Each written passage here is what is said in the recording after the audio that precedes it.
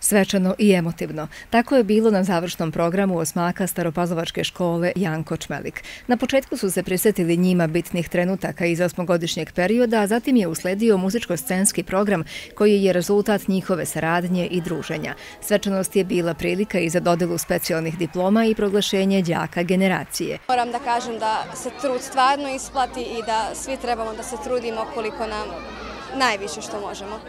Ela je učestvovala na brojnim takmičenjima. Nosilac je Vukove diplome koje su poneli još i Sandra Opavski, Alenka Lakatoš, Marija Folćan, Mija Vereš, Vladislav Gubečka i Martin Valent. To je odličan osjećaj kad ti se trud isplati i svaki, svaki trenutak koji si proveo za knjigom, a ne sa prijateljima, ti, ti se sad vrati i ti budeš srećan mnogo zbog toga. Potrebno je dosta rada da bi, zato što bi treba da upišemo na škole koje hoćemo i da budemo ono što jesmo i što želimo da budemo.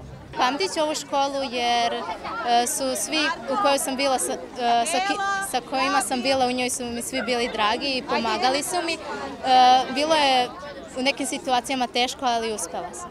U ovoj generaciji je bilo 40 učenika.